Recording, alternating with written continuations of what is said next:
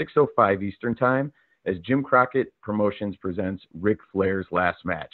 Everyone will be watching as the 16 time World Heavyweight Champion and cultural icon Ric Flair walks the aisle one final time and teams up with his son in law, Andrade El Idolo, to take on WWE Hall of Famer and Nashville wrestling legend Jeff Jarrett and Flair's former training partner Jay Lethal. Limited tickets are still available at RicFlairsLastMatch.com. And finally, all the weekend's festivities are available worldwide and streaming exclusively on FITE TV. With that, I'll turn the call over to StarCast founder and organizer Conrad Thompson for some opening remarks. Then we'll open the floor uh, to take questions. Once the Q&A session begins, I believe you'll be prompted to dial star six to be queued for a question. With that, I will turn the call over to Conrad Thompson. Conrad, are you there? I am, sir. Thank you, Derek. I appreciate the opportunity to come on, and thank you, everybody, for joining us today. Uh, this is going to be the biggest StarCast in history. Uh, this is our fifth one, but when I take a look at the lineup of, of folks we have there doing meet and greets and certainly the panel discussions, this feels like the most star-studded affair yet. And uh, for the first time ever, StarCast has live wrestling matches. Perhaps uh, the hottest independent wrestling company in the game, Game Changer Wrestling, and boy, does everybody love New Japan Pro Wrestling or what? We're so thankful to have both of those organizations, and of course, Black Label Pro doing their part as well. Uh, the roast should be pretty special. Uh, I've had an opportunity to see uh, some of the folks who weren't able to actually be there in person, but send in some videos, and it knocked my socks off. I can't wait for folks to see it. Uh, but it's all about Sunday night. Uh, Jim Crockett Promotions, one last time, Ric Flair's last match. Uh, there's been a lot of talk about the Forbidden Door, and, and certainly that's an AEW thing, but man, we have so many organizations represented on this program. I'm just so excited. And uh, it's going to be a big day, not only for David Crockett and Ric Flair, but for wrestling fans. And I appreciate everybody having an interest in it. And there's all the information available over at RicFlairsLastMatch.com. Uh, the wrestling show will be on satellite, cable, and of course, FITE TV. None of this really would have been possible without FITE. Can't thank Mike Weber and the whole team over there enough for all that they've done and uh, it's taken a, a, a big effort to pull this together. And I've had a lot of help from folks who know a lot more about wrestling than me, and the idea that I'm supposed to be here and answer questions uh, is, is pretty humbling because man, I couldn't do it without all this great support staff. So. With that in mind, Derek, I'd like to open it up for questions and happy to be a resource however I can. Great. Let me open this. Q&A session has started. To ask your question, please press star six. From the chat, Conrad. Um, you mentioned the Forbidden Door. How were you able to get so many various promotions to agree to participate in this show? Well, that gives me way too much credit, Derek. It, it implies that, that it had anything to do with me and not everything to do with Ric. Uh, Ric has accomplished a whole heck of a lot in his near 50 year career and still carries a lot of respect uh, globally you know, within the industry, not just with fans, but the folks who work behind the camera in the mutual offices, and the idea that we've got representation from AAA and New Japan, and and uh, certainly there's uh, a lot of other organizations as well. We couldn't do it without MLW and Impact, and on and on and on. Uh, and and if you look hard enough, you'll see some Ring of Honor talent there and some AEW talent there, and it, we're we're looking to have a who's who and uh, sort of wrestling without borders, I guess maybe. You know, some of this stuff shouldn't uh, shouldn't happen, but somehow it did, and it didn't happen because I was a good salesman. It happened because of Ric Flair's legacy and his contributions to the business. So, uh, Ric Flair and David Crockett deserve all the credit for that. But we sure are excited for Sunday night. Follow up to that question: Do you think that this will become more normal with some of these bigger promotions working together, um, seeing that the buzz that this show has received? Well, I mean, listen, I, I'd love to pat myself on the back and say this was some great new innovation, but the reality is, Impact and and uh, and, and AEW were working together. Gosh, two years ago, um, and I think you know the the relationships have really eased up in recent years. I think it's a new era in wrestling. You know, the way things have always been. I think eventually some of these folks started to look around and say, "Hey, why are we still doing it that way?" And the answer was, "Well, because we always have." And maybe somebody somewhere said, "Well, what if?" And this show is, is really a result of a lot of folks sort of getting on the same page about, yeah, why not? And uh, I'm just proud to be a tiny part of that, but really that credit deserves or, or belongs to these different organizations. I mean, it couldn't happen without, you know, the New Japan office or Dorian and his folks at AAA and, and certainly Scott D'Amore at Impact and Court Bauer with MLW. And and of course Tony Khan and and, and Ring of Honor and, and AEW. So uh, I can't take any credit for that. It's already happened. We're just the most recent iteration, and uh, you know this is a show that was essentially put together by the fans for the fans. You know, as, as a kid, I think a lot of us used to. Uh, maybe some of us did e-feds, or some of us would have like a little figure fed. We'd play with our toys, and what if this guy tagged with that guy? And that was sort of the fun of, of going to the newsstand and seeing some of those wrestling magazines of what if this guy faced that guy. And man, we're bringing some of that what if to reality next Sunday night in Nashville. All right, I'm going to try to click this over. Hang tight. It's a 3 3 number. Uh, go ahead with your question. Uh, hi, Conrad. This is Stephanie from Steel Chair Wrestling Magazine in United Kingdom, uh, but I'm calling you from France. Um, how are you today? I'm very well. Thank you for joining us. Thank you very much for this call. Um, I wanted to ask you, um, of course, with COVID, um, StarCast had to pause for three years, um, nearly three years.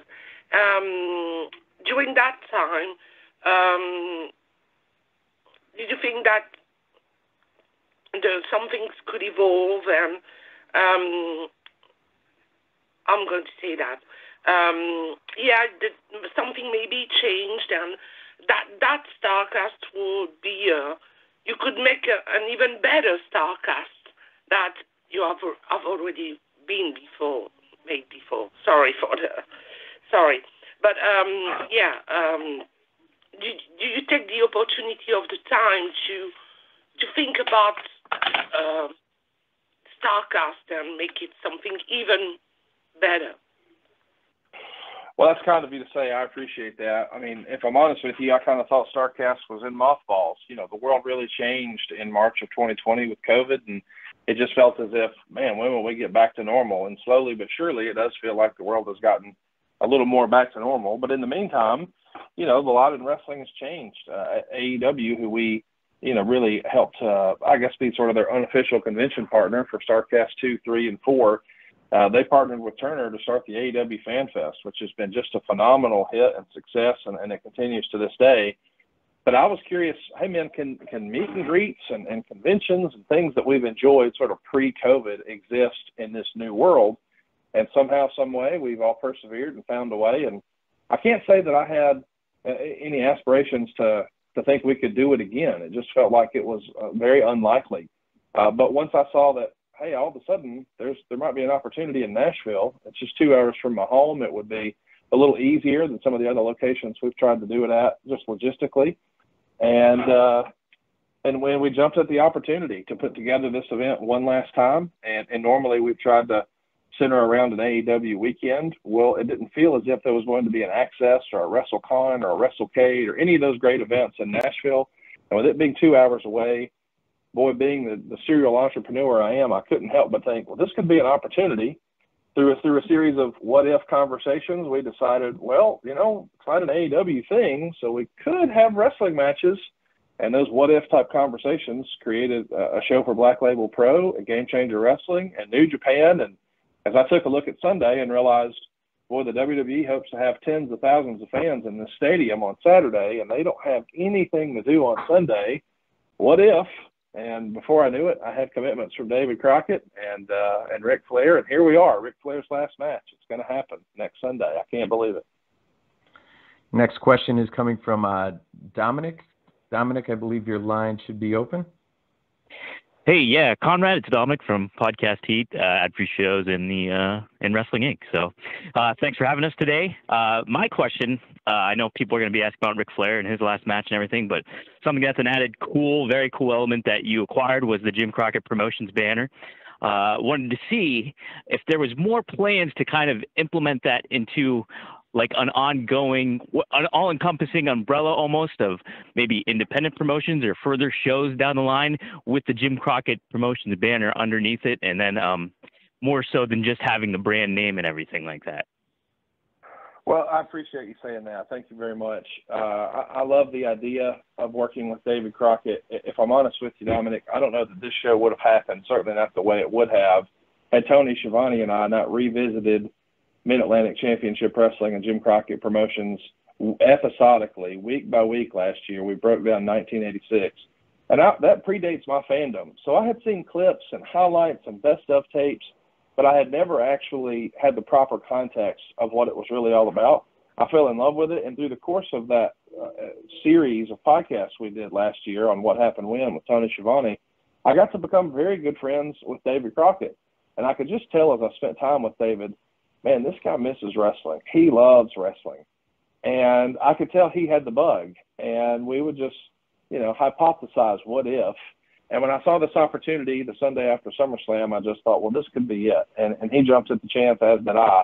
But I knew if we were going to do it, and we once we sort of landed on the idea of Ric Flair's last match, well, for what promotion? Because you know we're not really a wrestling promotion. I mean, Dominic, as I'm talking to you now, I'm in my mortgage office. This is my real life. Uh, I, I don't have any aspirations to be a wrestling promoter or start a promotion.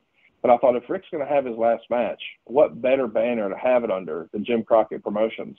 Uh, so thanks to the help of our gimmick attorney, Mr. Mike Dawkins, he helped us secure uh, the trademark. But I've already told you know David Crockett, come August first, uh, I, I'm I no longer have any interest in the in the Jim Crockett Promotions trademark. That's his family legacy. Uh, his family should own that trademark, and and although technically on paper he and I might be 50-50 on that, he will be 100% owner of Jim Crockett Promotions come August 1st. Uh, you know, I appreciate all the buy-in I've had from fans and the different offices, but some of this might have happened because they know that I'm not going to be a wrestling promoter. So uh, I, I, don't have any aspirations of, uh, of, of starting a new promotion or, or, continuing that banner. But I did think, hey, if, if that trademark is out there, one family should have it, and that's the Crockett family, and, and they'll be 100% completely in control come August 1st. And this is going to be a celebration, Dominic, much like ECW One Night Stand was for me. Uh, as a, a longtime ECW fan, I jumped at the chance to have that experience and feel the way ECW made me feel one last time. And that's what we tried to do with this docu series and storytelling. We wanted to make it look and feel like what Jim Crockett Promotions presented in the 80s, just, you know, the 2022 version. So we're doing our best. I hope folks dig it. I hope folks will check it out this Sunday, RicFlairsLastMatch.com. Next question is uh, 908 number. I believe it's Bill Pritchard. Bill? Hey, how are you guys? We're great, man. Thank you for jumping on. So glad to be on with you, and uh, uh, appreciate you making all the time today. I appreciate you uh, doing this. Uh, I actually had a question about uh, the name itself. I know people kind of joke about wrestling retirements all the time, but this seems like it's a little more final for Ric, uh, maybe for you, I guess, based on your last answer about Starcast. But was there any conversation throughout this process about uh, making sure that this was like a one and done. It wasn't going to be a few events or maybe even not calling it Ric Flair's last match, maybe having an, another name to it. So if you maybe chose to do it again, it wasn't, you know, kind of going back on your word or going back on the event, so to speak. Well, that's a great question. I appreciate you asking that. You know, I, I don't consider it going back on my word. You know, uh, bands have farewell tours uh, over and over and over. Now, that's not what we're doing here. Uh, I want to be clear. Uh, Ric Flair's last match is happening in conjunction with Starcast because I saw an opportunity on that Sunday. Had SummerSlam been on a Sunday, I can't say that there would have been a Ric Flair's last match. Uh, as an entrepreneur, you know, I just look for opportunities. And as a friend of mine says, I just – look for open doors and walk through them. And that's what this was for me. This was a one off, and it's always been a one off. But I know that Ric has had that bug for a long time. I, I've been close to Ric for nine years now. And occasionally, and I mean every few months, we'd be hanging out and it would just randomly come up. Hey, what if? I knew he had that itch. Uh, he probably, uh, and he's been open about this. He regrets wrestling after WrestleMania 24. What a perfect send off WWE gave him uh, with, with that Shawn Michaels match, and then the next night on Monday Night Raw. I mean, that's a send off that nobody, not just in wrestling, but in sports, gets. Uh, so it was really special. But for a variety of reasons, he did wrestle after that.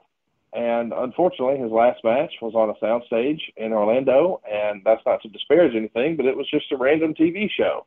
It wasn't a celebration uh, that could anywhere mirror or rival what happened in 2008. And I'm not saying that we're going to be able to either, uh, but it does feel like there'll be more of an effort to celebrate his legacy in wrestling with the roast of Ric Flair and that Horseman panel that we're calling One Last Ride for the Horseman. And then why not one last match? But in all honesty, I also knew probably shouldn't be a singles match. You know, we want to make sure that Ric looks and feels as close to the nature boy of old as he can. And the way to properly frame that is with a tag match. And I would have liked for the circumstances to be different as to how we get to a tag match and the way this one all sort of was put together. But I, I got to say, I can't lie, I'm pretty proud of the way it's all fell into place, and uh, I'm excited. But to answer your question, no, I, I'm not planning to do a tour, and I know that there's lots of memes out there, and there's some some fun social media accounts that have fun with, oh, this is the first of many, you know, tours of, of Ric Flair's last match or his laster match or his lastest match. And that's all funny stuff. And I understand that. And, and I, I, I love that fans are having fun with it. But the reality is there will not be a, another Ric Flair match with me promoting it. This is Ric Flair's last match. Uh, and, and I know that he has been training and put so much pressure on himself that he's probably realistically not ever going to want to do this again. Uh, Ric does not want to get in there and do what a lot of fans probably expect, which is to chop and strut and woo. He wants to be Ric Flair, and uh, I can't think of a better way to do that with a tag team with with his son and son-in-law Andrade. And this is Ric Flair's last match, guys. Uh, that, there there are no grandiose plans of you know at a post-match press conference we announce we're doing it again next year, and that's that's just not reality. This is Ric Flair's last match this Sunday, July 31st, Municipal Auditorium the same building where he beat Randy Savage for the world title, the same building where he ended his trilogy with Steamboat and won the world title. He'll walk that aisle one last time this Sunday night. Next question goes out to uh, 954 number. Go ahead. Hey, how you doing, guys? This is uh, Joey Carney from the Angle Podcast. Uh, first off, I want to say kudos to Conrad, uh, strictly for bringing so many people together and from so many places. It's really what pro wrestling is about, and uh, kind of what we need more of nowadays. Now, being that this year is a little different than the others, uh, because it's more of a family ordeal with Ric's last match, has it been difficult, Conrad, to juggle the roles of kind of uh, family man and businessman? It's been incredibly difficult, but it's something that I've gotten used to. Uh, you know, I started First Family Mortgage, uh, gosh, I got to think about that, 17 years ago, maybe. Uh, and I, I first got in the mortgage business 21 years ago and slowly but surely recruited you know, my sister to do closing packages, my dad to help originate some loans, my mom to help run some books. I've got a couple of cousins running around here. First Family Mortgage is the real deal. That's my that's my real life. So I've kind of gotten comfortable with wearing the work hat at work and the family hat at home. Uh, but now I've never had to, you know, try to balance that in the professional wrestling realm. Not just with, you know, my father-in-law Ric Flair, but with a broadcast partner in Jeff Jarrett. I mean, Jeff and I had become really, really close, and that relationship is maybe not exactly what we would have hoped it would have been a year ago, but uh, still, it, it has been a balancing act where I've got podcasts with both of these folks, and I'm in business with both of these folks, and now we're trying to do a wrestling match. And obviously, it's very important to Ric because it's his last match, but it's very important to Jeff too because this is going to be a big spotlight on him and his career as well. I mean, this isn't just something that that that Ric is excited about for his legacy what a footnote in history that's going to be. What a trivia note that's going to be. That Jeff Jarrett is the guy who's standing across from Ric in, in Ric's last match. And of course, we all expect Jay Lethal and Andrade to go on and continue to have a fabulous career. But realistically, Jeff has a, a full time day job, and we all know what that is, and we don't have to talk about that here today. But it's not realistic to think that Jeff Jarrett's got all that many matches left either. So he's coming with something to prove, and that has certainly not been something I expected and uh, I can't wait to see what happens when everybody's in the ring together this Sunday night. We're going to go out to a 773 number, Chicago. Go ahead with your question. Hey, Conrad, it's Nick. How's me? Hey, buddy, how are you? I'm good. How are you doing? Better than I deserve. Excited, uh, excited you're on the call. Wonderful. Uh, I have a question about a four-way match you are presenting uh, at last match uh, that has Jonathan Gresham and Nick Wayne in it. Uh, there was a Fightful report uh, that Gresham may not uh, be wanting to wrestle anymore. I was just wondering if he's still booked, if you have any updates on Gresham. And Nick Wayne this morning was reportedly detained in Iceland uh, for some kind of bomb threat investigation. I didn't know if you had made contact with Nick and had any update on his status at the moment either. I'll answer the last one first. I'm actually uh, one degree separated from Nick. I've never actually met Nick in real life. We've had a few text message conversations, but uh, we have a great mutual friend, and I was getting real time updates yesterday when all of uh, the craziness with his travel schedule was going down. But we do expect him to be in Nashville. Uh, based on everything I've heard, he is safe and sound, and uh, he is ex- as excited about being on Ric Flair's last match card and sharing a, a locker room with Ric Flair as anybody. Uh, so we're looking forward to having Nick. Uh, the same goes for Jonathan Gresham. I, I haven't spoken to Mr. Gresham since last week. Uh, I did watch the pay per view, as I think all of the wrestling world did, uh, but I haven't had any communication to say that he would not be there. Uh, I, I'm under the impression that Mr. Gresham will be not only in in the ring come Sunday night, but he'll be doing meet and greets at Starcast, and we can't wait to host him. Uh, I, I think it's important to remind everybody that his lovely bride is is in a championship match on our card, and as far as I'm concerned, that's like the co-main event uh, not only because the world title is on the line, uh, but because you've got three of the best female wrestlers in the entire world. Or let's remove the descriptor. You've got three of the best wrestlers in the world there. So I think it's going to be a family affair in more ways than one. You know, not just the the Ric Flair Andrade connection, and, and not just the Von Erichs and the Briscoes, but my goodness, uh, you've got husband and wife on this card, and I'm excited to have them. Let me go out to 914 number. Go ahead with your question, please. Hi, it's uh, Phil Strum from USA Today Network. Thanks for having us. I was wondering, we just. I'm sorry about that. Uh, go ahead again with that question, I'm, Phil. Yeah, I'm unmuted. It told me I was muted, so I stopped. But uh, I, I noticed in looking at the composition of the Sunday night card that children of at least eight of Ric Flair's contemporaries are are booked on that lineup. I was wondering if that was deliberate or if that was a happy accident or kind of what the deal was with that. Thank you. It's it's absolutely deliberate. I appreciate you pointing it out. Of course, we're talking about Brian Pillman Jr., Arn Anderson and his son Brock, uh, Ricky Morton and his son Kerry, uh, the British Bulldog son Davey Boy Smith Jr. Uh, the the Briscoe brothers are there. Of course, the sons of the Von Erichs are of Kevin Von Erich is there. Uh, Fatu, my goodness, his family is is one of the most famous wrestling families of all, and and then of course you've got Jeff Jarrett, who is a, a third generation promoter, and and everybody knows what all his dad accomplished not only out of the ring as a promoter, but in the ring. I think he was in the very first scaffold match. I think he may have created it. Uh, of course, Andrade, multi generation talent, and of course Ric's son-in-law. So no, it was absolutely intentional. We wanted to make sure that you know we were paying as much tribute and and and honoring the legacies of professional wrestling, not just today, uh, but of yesteryear, because I think that's what Jim Crockett Promotions is supposed to be about. You know, you go back and and you take a look at all the great talent that were there. Unfortunately, a lot of those talent are no longer with us, or they're no longer wrestling. But the next best thing would be let's celebrate the heritage of what wrestling used to be.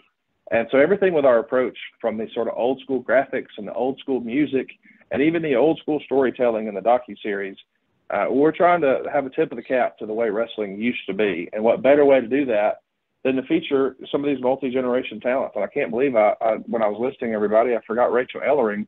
My goodness, her father was such a big part of Jim Crockett Promotions. It just feels like we've checked every box.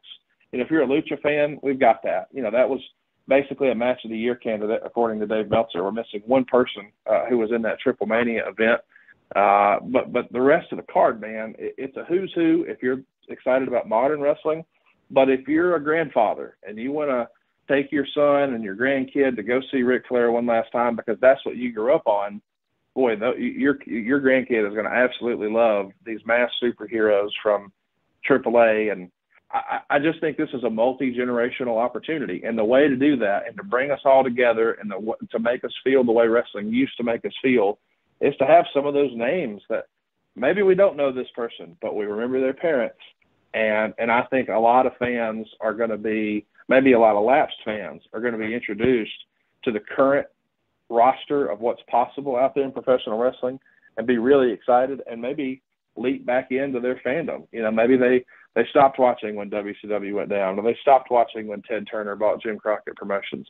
but they see what's going on now and they want more of it. Boy, that's great for everybody, and uh, I can't wait to see all these multi-generation talent there on Sunday. Let's go out to Scott Fishman. Scott, your question, please. Yeah, appreciate it. Um, one of the things, you know, you, you mentioned the undercard, which is incredible too, as much as the main event. Um, talk about kind of just the role of putting this card together. You mentioned a lot of the participants in the matches, but um, kind of leaving it up to like how the how you got the input of the different companies on what they want to spotlight or not spotlight, or and then also who might be the point person and kind of helping you know put these matches together that we're going to see on Sunday. With you know, there's a lot of expectation. People have high hopes, so you know this card is is incredible on paper, but kind of seeing it play out. Um, who kind of would be that person? Please enter.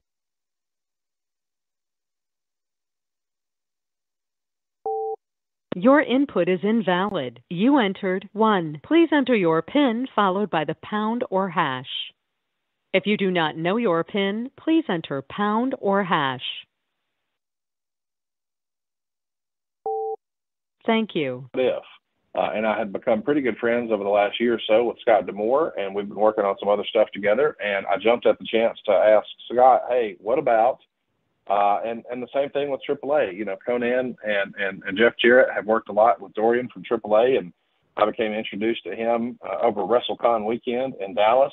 We exchanged uh, contact information and just stayed in touch and talked about some perhaps future business we could do together. And one thing led to another, and it was sort of that same thing up and down the line. Uh, I became, you know, uh, good acquaintances with um, Rocky Romero uh, through through the Good Brothers years ago through their podcast, and I knew that he knew a thing or two about the inner workings of New Japan, and I said, "Hey, man, I see you guys did a show at WrestleCon. Would you like to send a match here for uh, Starcast?" And and we were off to the races. But it wouldn't have happened without the buy-in from from each individual office. Uh, and and I think you know the story has been out there for a while that that I'm pretty friendly with Tony Khan and and think a lot of what he's doing with AEW and with his blessing we were able to you know sort of check all the boxes and, and get everything approved and here we are. Let's go out to uh, Kevin Hellum. Kev, go ahead. Hey, thank you for the time, Conrad. Kevin with Sportskeeda.com. Um, I want to jump right into this. Uh, there's a lot of expectations for Starcast this weekend. It'll stream it has many different streaming events. I've been to Starcast twice. The first one, the second one in Chicago.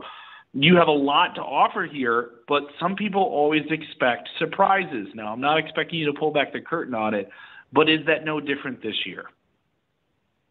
Uh, I mean, th- there will be surprise videos and cameos for the roast of Ric Flair. Um, I sort of alluded to that earlier. There's a, lo- a whole lot of mm-hmm. folks who would love to to pay respects to Ric and and and and be on that stage, but you know, the entertainment business being what it is, it's just not easy for everyone, especially in a, a summer touring schedule, to to break away and be here.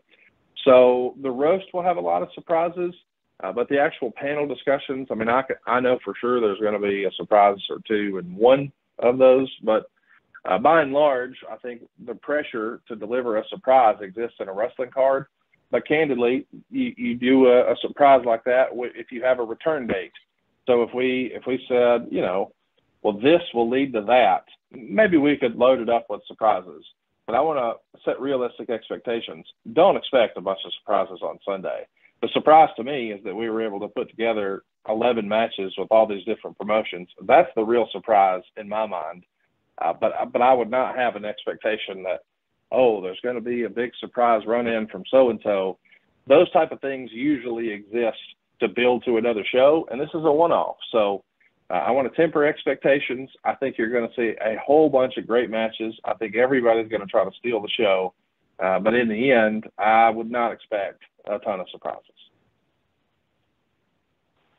And we'll go out to Mr. Jonathan Hood. Mr. Hood, your question, please. Hi, Conrad.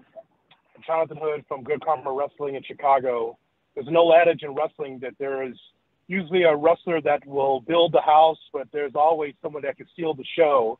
So I'll ask Conrad the fan, when you start to see this card build, is there one particular match that you're saying, boy, this could be really good? Maybe something that could steal the show. Well, I'll tell you, I think uh, the, the expectations are really high for the AAA match, so people expect it to be great, and longtime fans really expect the Wolves and Guns to steal the show. And if you've been keeping up with what's happening in MLW and Impact, I think you know that Josh Alexander Jacob Fatu match is a dream. So if we're talking sleepers, uh, I got to think that the Von Erichs are looking for a big stage. Everybody knows what the Briscoes are capable of. They just saw one of the best tag team matches I've ever seen in my life this past weekend in the main event with the Briscoes and FTR. I think the Von Erichs Q&A session is over. are going to really, really steal the show and impress a lot of folks. Uh, and personally, one of the first matches I jumped to, at the chance to book uh, was Killer Kross and Davey Boy Smith Jr.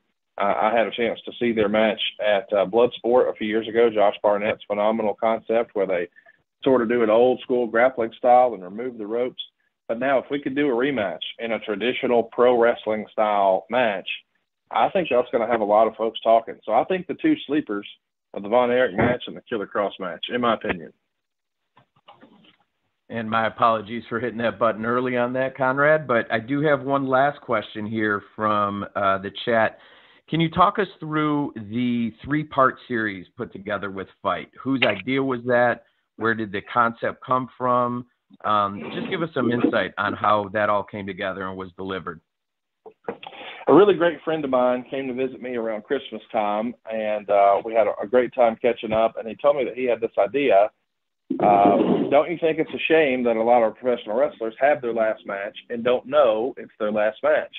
You know, they got hired for a new big gig or something happened in their life and they needed to hang up the boots. But a lot of folks just went about their life. This was the way they made their living, and then one day it was just over. Uh, and that felt like a real shame, especially when you consider some of the fabulous send offs that we've seen in traditional sports. Like, for instance, Kobe Bryant, you know, he didn't just have a farewell game, he had a farewell season. So every town he visited, people flocked to the arena to go see Kobe Bryant one last time. And I just thought, man, that's a great idea. And then fast forward when I realized what was happening with, with SummerSlam and that there really wasn't anything to do in Nashville on Sunday, I saw that as an opportunity. And I thought, well, I don't really just want to announce a match. And I know that eh, a lot of independent promotions just put up dream matches and then folks get excited about seeing what could happen and what was possible in that dream match. And just having the two names, this guy versus that guy, that sells it. But that didn't really feel on brand for Jim Crockett Promotions. You know, I, I wanted to I wanted to be able to tell a story. I wanted to be able to get lost in a story. I wanted people uh, to be excited about that process. And so we started to think, all right, maybe we should do a docu series. And, and I heard you reference it as a three part. Here's a spoiler for you: it's not a three part; it's a four part. There will be a final episode that airs after uh, the pay per view because I think we need to document what happens as Ric is preparing for his final match. What happens as he's coming to the arena uh, and he's getting ready for that last match? What happens in the match? And how does he feel after the match? And how does everybody else feel after the match? Uh, so I would encourage fans to stay tuned. There will be at least one other episode coming. Uh, it's probably not realistic to think that we'll have that ready the day after. I know typically we've dropped these Mondays at 6:05. I don't think that's realistic. I think we could turn it that quickly, but I do think that Ric Flair's last match is worthy of a story. Uh, everything that Ric has done in wrestling was about trying to tell a story, whether it was the trilogy with Steamboat or the incredible feud in '89 with Terry Funk, or who could forget the unbelievable series of vignettes that we saw for Starcade '93. I'll never forget just loving Mean Gene coming to Ric Flair's family home as he kisses his family goodbye because it feels as if he's in great danger. And as they get in the back of the limousine and ride into the arena, and and boy did Neal Pruitt do a great job helping put that whole thing together for WCW. It felt like a big fight feel. So I decided, hey, what if we took that whole concept of maybe a one-off television show about one particular wrestler that sort of explains their last match? What if instead we did a series, sort of like HBO does or Showtime does before a big fight? I think on HBO they call it 24/7, and on Showtime they call it All Access. But they follow two fighters for a big prize fight as they build towards their collision, and they get a little context for what they're doing and why they're doing it and how they're doing it. So that's what we tried to do with episode one is explain the why. because I know a lot of wrestling fans, when they first saw this announcement, they said to themselves, why is Ric Flair doing this? And I would encourage everyone who still maybe is listening to this or, or reading a recap perhaps to really ask yourself, try to look at it from a different perspective. Not necessarily what you want to see, not necessarily what you think should be done, but see it from Ric's perspective. Ric Flair has entertained us for nearly 50 years in professional wrestling. And if this is important to him and he wants to do it one last time, why would we discourage that? Why would we think that we know better than him? Uh, this is about him wanting to feel like Ric Flair and the Nature Boy one last time. Uh, w- w- when that whole 2008 retirement happened, that wasn't his idea. He was dictated to. That was created in a creative meeting, and they said, "Hey, you're having your last match." And by the way, it was fabulous. It was 10 out of 10. But he wasn't necessarily ready to do that, which is why he wrestled again. But at this point, he's been gone for so long. I think everybody understands he's not going to wrestle again. This really is it. But if he wants to feel like Ric Flair and the Nature Boy one last time, having lost his son nearly 10 years ago, and as you saw in episode one, he said as soon as that happened, he walked across the street to the bar and he didn't quit drinking for five years. And he nearly lost his life because he was self medicating, wasn't taking care of himself. But he's worked himself back. And Ric Flair's in a better place mentally, emotionally, physically, financially than I've ever known him right now. This is not a cash grab for Ric Flair. This is not Ric Flair needs a payday. This is about Ric Flair wants the glory and the rush of being in front of a crowd that paid to come see him one last time. And who are we to say that he can't do that? And I understand there are naysayers who have concerns about his health, but they're not his doctor. His doctor has cleared him for it, and his trainer has told him that he's ready. And I just want to remind everybody that this, when he steps through the ropes this Sunday night, it won't be the first time he stepped through the ropes. It'll be the first time you've seen him step through the ropes, but he's been training almost every other day for months. So if there was a concern about something that could happen with Ric medically, it would have already happened in training, candidly, because he's already done it. He's been put through the paces. He's pushed himself. This is not he wants to get out there and chop and strut and woo. He wants to go out there and steal the show.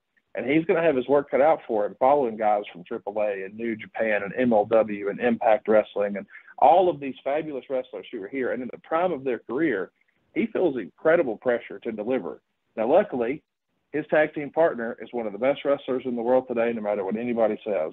And they're going to put on one hell of a show this Sunday night. But I would encourage you, if you've been negative and you weren't sure about this and you didn't think you liked it and you don't think you should be doing it, I want you to ask yourself, what about from Ric's perspective? Can I put myself in his shoes and see it from his perspective? And when I see it that way, does it change my opinion? Because here's a spoiler it's not about you. Not everything in life is about you. And you get to decide if you want to watch it or not. But Ric Flair gets to decide what happens in his life. And if he wants to wrestle one last time and his doctor clears him and his trainer says he's okay and his son in law's got his back, Andrade's going to be there to take care of him. And I am ready for what happens Sunday night. Uh, it's going to be uh, a dangerous affair in that main event, but it'll probably be dangerous for Jeff Jarrett, not so much Ric Flair. And with that, we're going to put a bow on it. Conrad, I want to thank you for uh, taking the time today. Uh, media members who joined the call, I want to thank you for joining today's call. Uh, we look forward to seeing you in Nashville. And if you can't join us in person, please remember that start, all the uh, Starrcast 5 stage shows, wrestling events, and Jim Crockett Promotions presents the Ric Flair's Last Match are available worldwide and exclusively on FITE TV. Again, I want to thank you all for joining us. Conrad, thank you for your time.